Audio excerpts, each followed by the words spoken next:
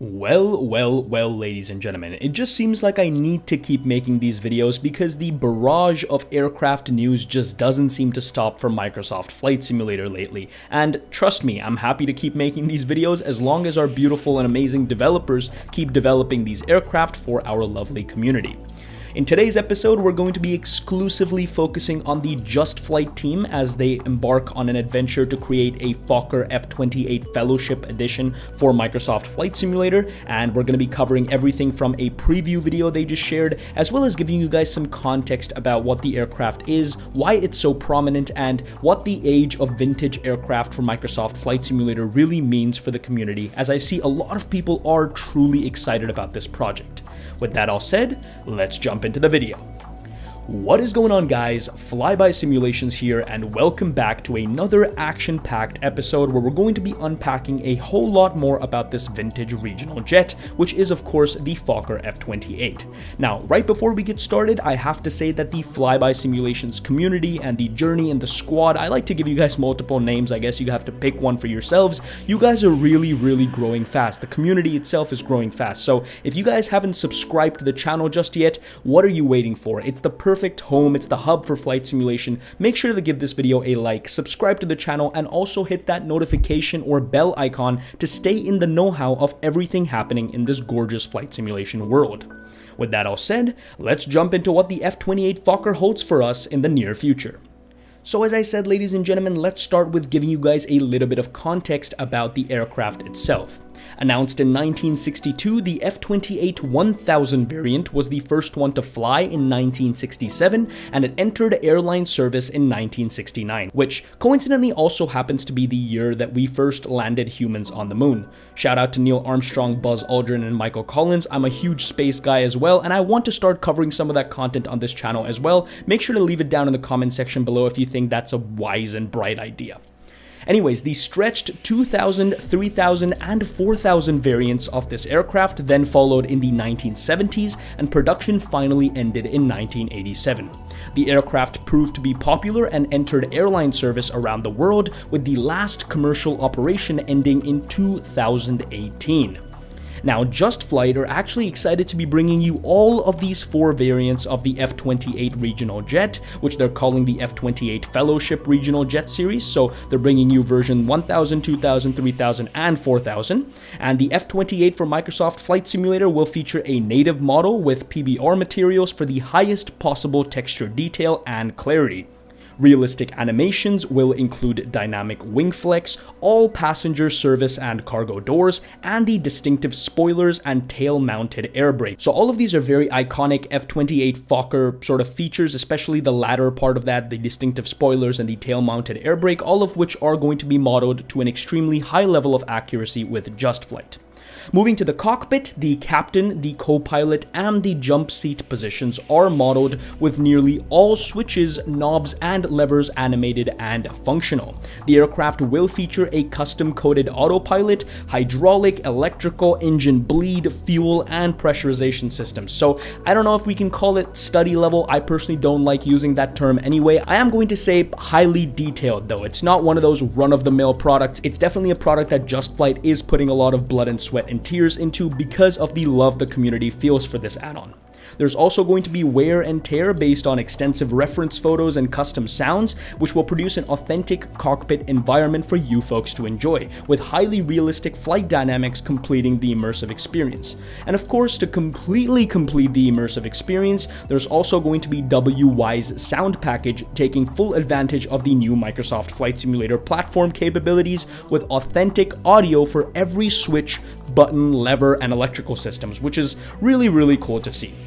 So with that all out of the way, and now that you guys have some context about this aircraft, let's jump into the latest development update that the Just Flight team shared with us on the 5th of December. So the video that you guys have been seeing in the background is actually courtesy of Just Flight. I'd highly recommend you guys check out the whole video and the link to that is in the description section of the video. Feel free to dissect it. Feel free to let me know your thoughts in the comment section once you're done watching that. However, in this video, we're going to be taking some screenshots from that video and dissecting them further to understand what we can come to expect with this add-on going forward. So the team says that in their latest update, they previewed some of the recent work on the Fokker F-28's exterior animations, ground equipment, and aircraft systems coding. Again, link in the description below if you want to check out the whole thread of all of the development updates we've been given on this aircraft so far. However, alongside continuing work on those areas, the team have also been busy configuring the numerous exterior and interior aircraft lights that bring the aircraft to life at night, and that's what we're going to be taking a look at in the rest of this video. So to start things off, we'll go ahead and start with a walk around to highlight some of the exterior features of the F-28. Standing in front of the aircraft, you can clearly see the custom GPU is connected. So yes, ladies and gentlemen, there is going to be a custom GPU that is supplied with this aircraft package. The stairs are also extended and the nose lights are retracted, which happens to be a typical parked configuration for this aircraft. The iconic T-tail and the engines are also visible against the ominous weather that you can see in the back. Now the F-28 passenger door, as you can see in the screenshot, does include integrated air stairs, which are useful for avoiding those jetway fees and for operating from remote airports. Remember ladies and gentlemen, this is a vintage aircraft and jetways weren't as standard back in the day as they are today. So the aircraft is jetway compatible with the option to fold down the handrails and a retractable step, which again is completely fully simulated here, as you can see in the screenshot. Moving to the other side of the aircraft, an upwards sliding service door can also be found on the starboard side, along with the downward extending forward and center cargo doors. Now this was very odd to me because with most of the modern airliners, the cargo doors actually swing upwards, but this one swings downwards, which is pretty cool to see. Moving back towards the tail, and this is pretty exciting because I love the way the tail looks on this vintage aircraft, there's also an aft cargo door that has of course been modeled. From here we can see the distinctive flap fairings on the wings, the optional engine hush kits, as well as large tail-mounted air brakes, similar to those found on the BAE 146 and the RJ, which have also been made by Just Flight for Microsoft Flight Simulator.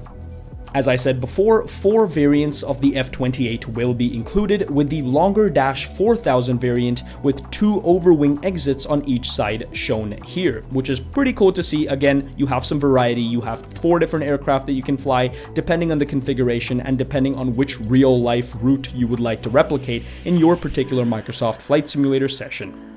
Alrighty, so with the externals and everything looked at, let's get into the aircraft and start looking at all of the internals. So we're ready to board the aircraft via the air stairs with a great view of the wing, engine, as well as the T-tail. Man, I just can't get over that T-tail.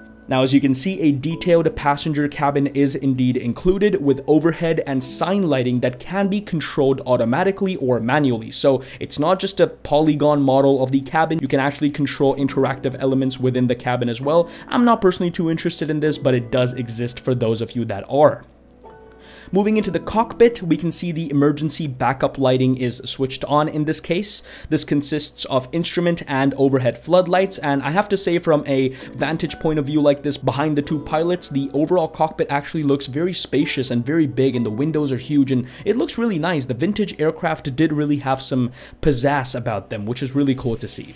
Taking a seat on the captain's side, we can switch on the independently dimmable instrument panel, white flood, and instrument lights as well. So you can see how the different instruments as well as the different surfaces on the cockpit actually react with the light here. The overhead panel also has integral lighting aided by two large dome lights and white and red reading lights for the captain and co-pilot. Again, pretty cool stuff to see. A variety of red floodlighting is also available for the instrument and side panels, and I'm guessing, again, this is a complete guess, so let me know down in the comment section below if you guys know anything about this, but do they use this at night maybe just to, you know, help with, uh, you know, vision and stuff like that, just so the actual lights in the cabin aren't as jarring as having like, you know, proper white lights? Maybe that's the case, maybe that's not, so let me know down in the comment section below. The interior lighting controls are spread around the cockpit, just like it is in the real world, but all of the exterior lighting controls are grouped together on the center pedestal, with individual controls for each of the retractable wing and nose landing lights. And again, another thing I want to point out here is look at the amount of progress that's already been made with this aircraft, both on the exterior side of things and the interior side of things, which goes to show that this aircraft might not be far away from release. Just Flight also goes ahead and tips its hat to Microsoft Flight Simulator's stunning light capabilities, which allow them to realistically simulate all of the different types of lighting on a classic airliner such as the F-28, with over 50 dynamic lights covering the exterior, cabin, and cockpit combined. This close-up of the overhead panel shows the incredible detail that they can now achieve, which they've not been able to in previous iterations of Flight Simulator.